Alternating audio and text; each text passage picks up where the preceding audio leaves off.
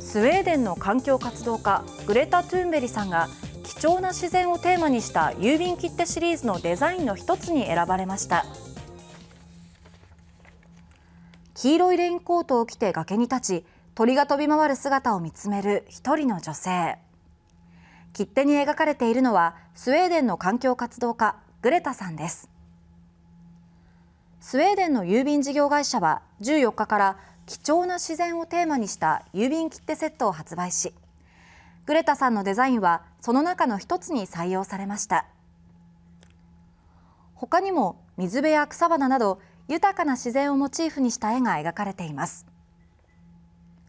郵便事業会社は採用した理由として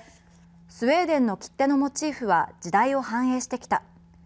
環境問題は長年にわたり重要な課題として存在しグレタさんの強力な声と継続的な活動を通してさらに広まったと説明しています。切手は1枚12スウェーデンクローナ。日本円でおよそ150円で販売されます。